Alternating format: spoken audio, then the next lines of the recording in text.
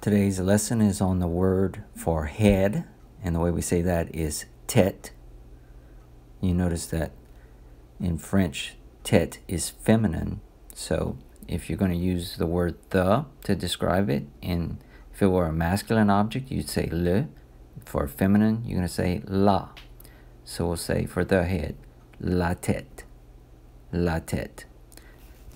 So there are a lot of useful sentences you can make with the word tête. For instance, I have a headache. J'ai mal de tête. He is hard-headed. Il est tête dure. Or another way to say that, il a la tête dure. She is hard-headed. Elle est tête dure. Are also acceptable. Elle a la tête dure. To say he or she is smart, il a une bonne tête. Or a une bonne. So that's our lesson today on the word for head, tête.